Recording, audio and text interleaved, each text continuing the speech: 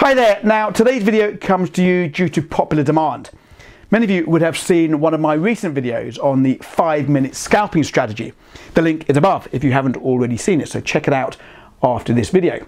Many of you have written to me telling me how well it's been working for you, so that's absolutely great. But I've also had quite a few requests asking me to expand on the video and to show the strategy on a real price chart, and that's exactly what we're going to be doing today.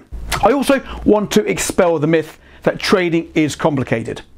Often the most simplest of strategies are the most profitable. And boy, is this a simple strategy. It should take you less than 10 minutes to learn and it could change the way you've been trading forever. Now, before I forget, don't forget to subscribe to the channel if you haven't already done so and make sure you hit that notification icon so the moment I release my next video, you're going to be notified. So sit back, take notes and enjoy.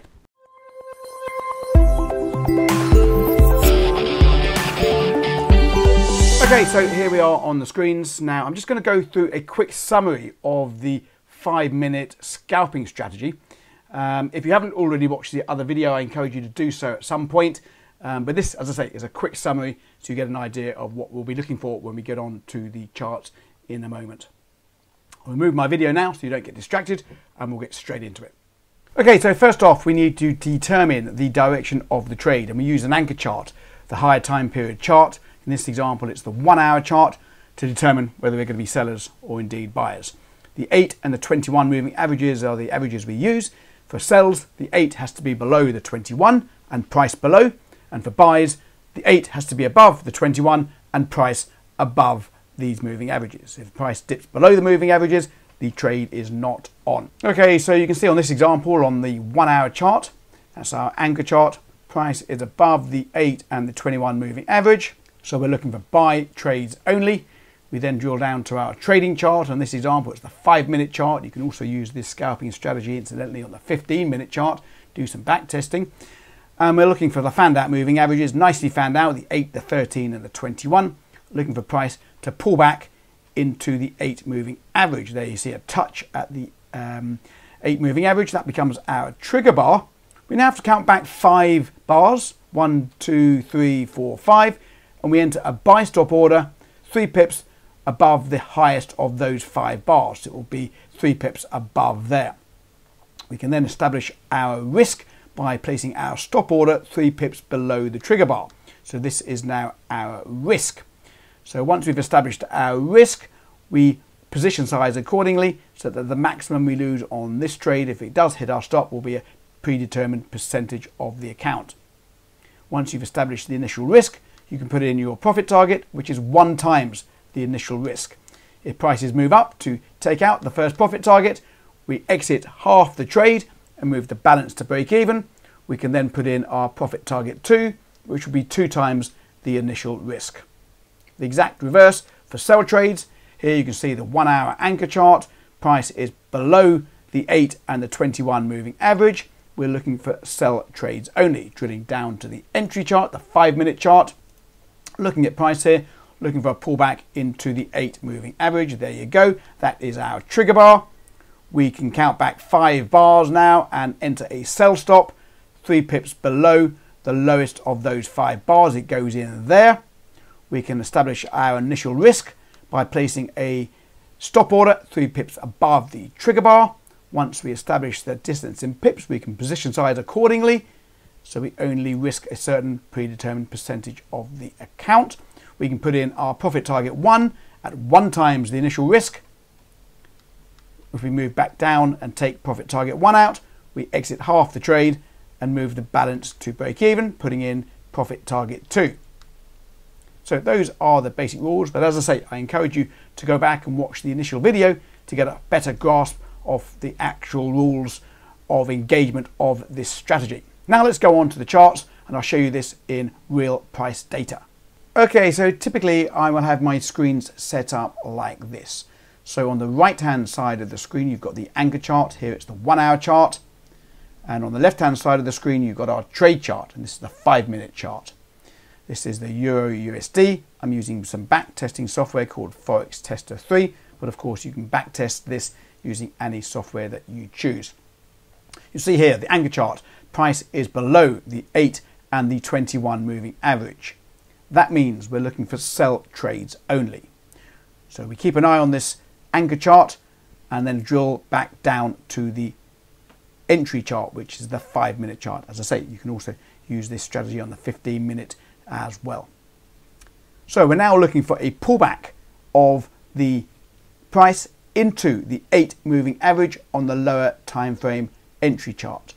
Every time I hit the spacebar, price is going to move on another five minutes of data. So I'm waiting for a pullback into this green line, the eight moving average. Okay, so there is our trigger bar. I now need to place a pending sell stop order, three pips below the lowest of the last five bars, which would come in around there. And at the same time, I'm going to place a stop order, three pips above the high of the trigger bar, which would put us in about there. Now, once we've established our initial risk, we put in our first profit target as well at one times risk. So that will be down here and we place that order. Now because I'm exiting the trade potentially in two parts, I place this order twice at the same time to allow for two exit strategy.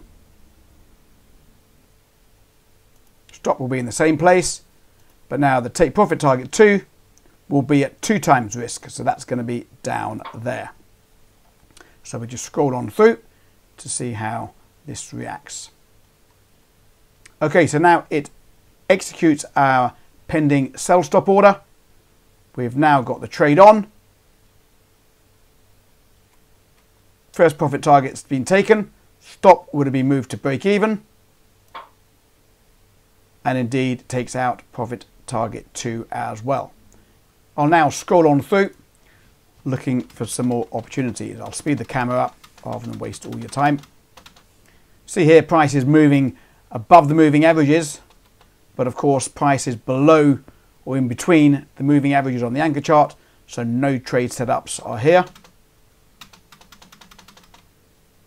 Okay, so here is a potential setup. The price is below the moving averages on the one hour, waiting for these moving averages to fan out on the five minute.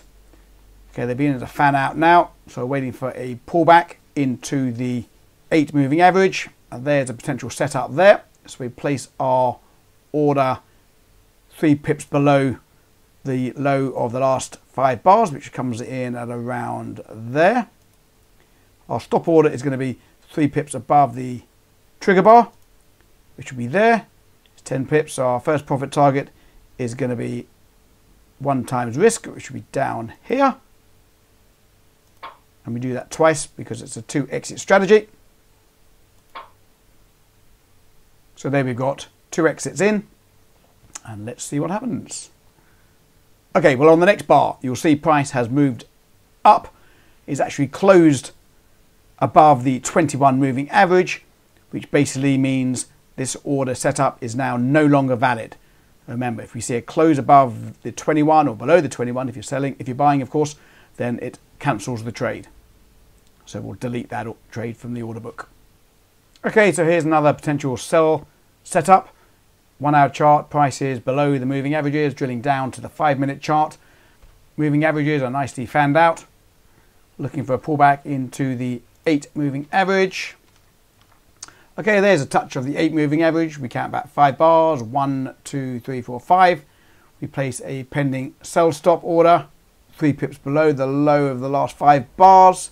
So that will come in at 12.47, which is about there.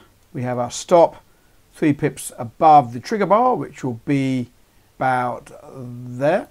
So that's showing us about a 35 pip profit target. So that will come down to about there. So we place that order. Now, as always, we want to exit in two parts. So we exit the trade in two tranches and we'll see how this one plays out. So our sell stop has been triggered.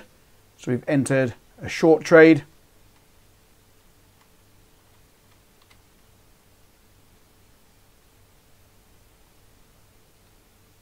Took its time that one. First take profit target that's been hit. We move balance to break even. On the second half of the trade. and take profit target hit twice as well there. Now clearly I'm picking trades here that work.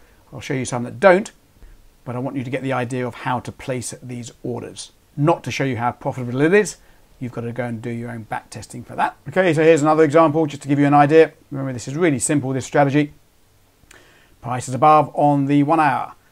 So looking for buy entries only, looking at the fan out moving averages of the five minute. Scrolling on through, uh, we got a touch there of the eight moving average. We place a pending buy stop order, three pips above there, which comes in about there. Stops three pips below the trigger bar, which comes in at about uh, there. Okay, first take profit target is going to be there. And our second profit target would be up here. And we'll see how we go. Buy trade entered. First take profit target hit. Stop to break even on the second half.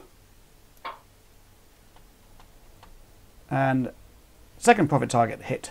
Here we are on a sell trade. Price is below on the anchor chart. Drilling down to the five minute chart, waiting for a pullback into the eight moving average. There you go. So count back five bars. One, two, three, four, five. Place in a sell stop order at about there. The stop loss order, three pips above, goes in at there. And the profit target is going to be down here somewhere. Place that order.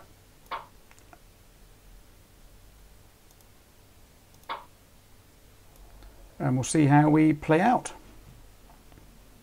Okay, we're in the trade. We've sold this currency pair. We get stopped out immediately on the next candle.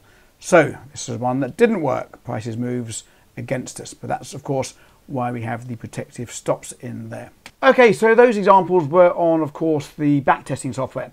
But also, also, I think it's important that you look at this in the real live market.